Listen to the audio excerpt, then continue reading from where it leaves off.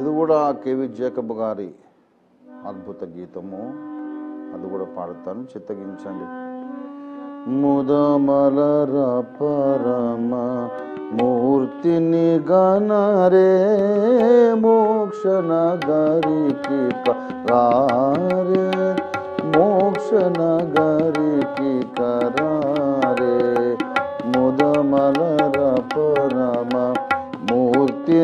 మూర్తిని గణరే మోక్ష నగరికి కరారే మోక్ష నగరికి కరారే ధరనఖిలము మన తనువులు కలగదే ధరనఖిలము మన తనువులు కలగదే ఆశలికేలా శ్రీయేసే ఆశలికేలా శ్రీయేసే ఆర్తవ్రాత శైలమోలే ఆర్తవ్రాత శైలమోలే సందయమేలా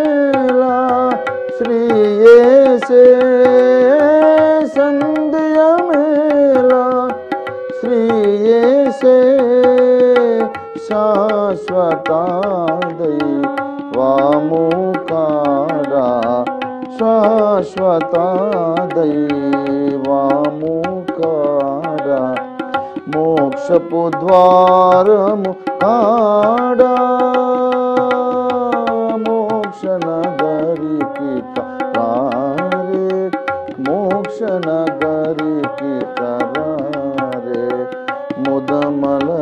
परमा కారే మోక్ష నగరికి కరారే ముదమలర పరమ మూర్తిని గణరే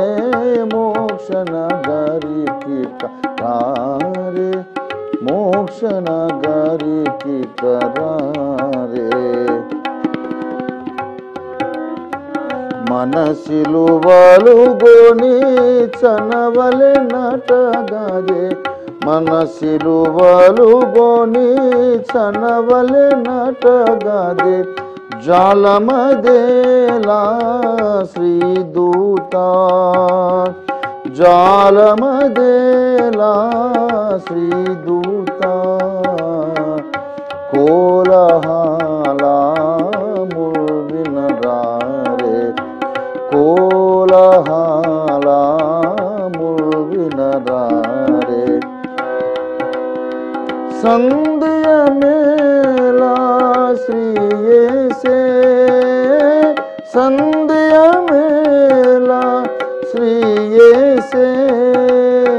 శాశ్వత దైవాము కాడా శాశ్వత దైవాము కాడా మోక్షపు ద్వారము కాడా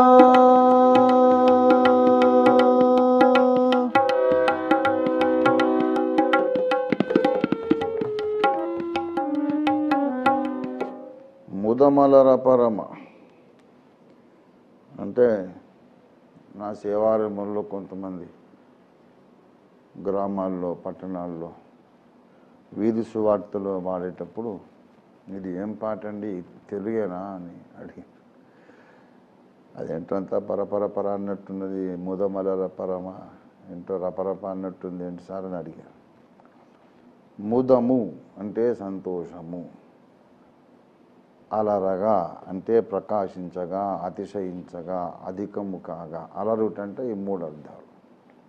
అలరుట అంటే ప్రకాశించు. అలరుట అంటే అధికమగుట. ఇతోధికంగా సంతోషం కలుగుట. అలాగే అలరగా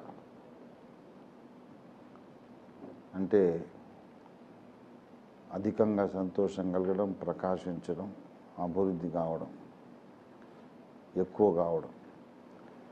సంతోషము ఎక్కువ కాగా పరమమూర్తిని కనరే. శ్రేష్టమూర్తి పరమమూర్తి అంటే పరమము పరమము అంటే పరము అంటే పరలోకం.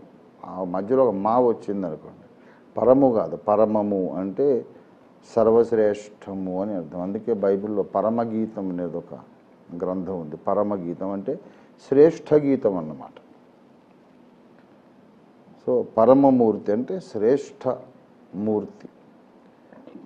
విశ్వంలోకెల్లా అందగాడు పరిశుద్ధుడు కాంక్షణీయుడు అందరికంటే సర్వశ్రేష్ఠుడైనటువంటి ఆ విరాట్ పురుషుని చూడండి. ముదమలర పరమమూర్తింది కనరే ఆయన్ని చూసి మోక్షనగరికి రావచ్చు.